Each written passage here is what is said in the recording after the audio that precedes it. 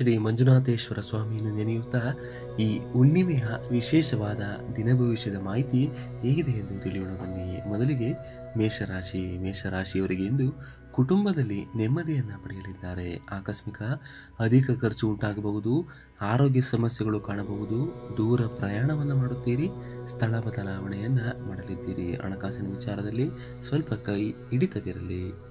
ವೃಷಭ ರಾಶಿ ಅಮೂಲ್ಯ ವಸ್ತುಗಳ ಖರೀದಿಯನ್ನು ಮಾಡುತ್ತೀರಿ. ದುಶ್ಚಟಕ್ಕೆ ಹಣವ್ಯಯ ಆಗುತ್ತದೆ. ಮಾನಸಿಕ ವ್ಯಥೆಯಿಂದ ಈ ದಿನ ಕಳಿತೀರಾ?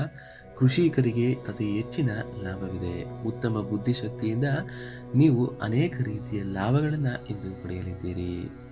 ಮಿಥುನ ರಾಶಿ ಮಾಡಿದ ಎಲ್ಲ ಕೆಲಸಗಳಲ್ಲಿಯೂ ಜಯ ನಿಮ್ಮದೇ. ದೈವಾನುಗ್ರಹದಿಂದ ಅನುಕೂಲಗಳನ್ನು ಪಡೆಯುತ್ತೀರಾ? ಶತ್ರುಗಳಿಂದ ತೊಂದರೆ ಆಗಬಹುದು. ಎಚ್ಚರಿಕೆಯಿಂದ ಈ ದಿನವನ್ನು ಕಳೆಯಬೇಕು. ಪ್ರವಾಸ ಹೋಗುವ ಸಾಧ್ಯತೆ ಇದೆ. ಆದರೂ ವಾಹನ ಅಪಘಾತ ಆಗುವ ಸಂಭವವಿದೆ. ವಾಹನ ಚಲಾವಣೆ ಸಮಯದಲ್ಲಿ ಎಚ್ಚರಿಕೆಯಿಂದ ಇರಬೇಕು.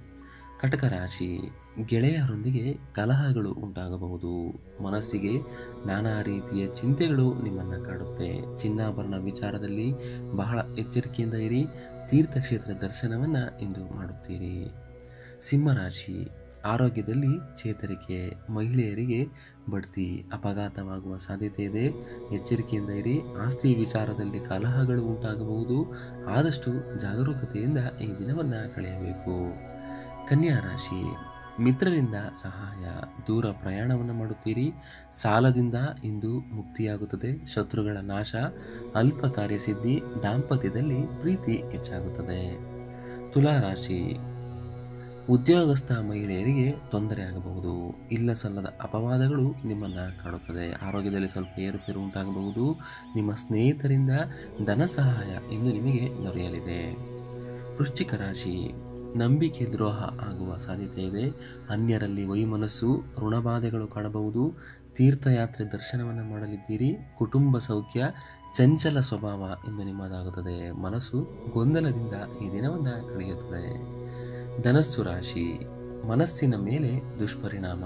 ಕುಟುಂಬದಲ್ಲಿ ಕಲಹಗಳು ಉಂಟಾಗುವುದು ಮಾನಸಿಕ ವ್ಯತೆ ದಂಡ ಕಟ್ಟುವ ಸಾಧ್ಯತೆ ಇದೆ. ಎಚ್ಚರಿಕೆಯಿಂದಿರಿ. ದೂರ ಪ್ರಯಾಣವನ್ನು ಇಂದು ಧನಸ್ಸು ರಾಶಿಯವರು ಮಾಡಲಿದ್ದಾರೆ.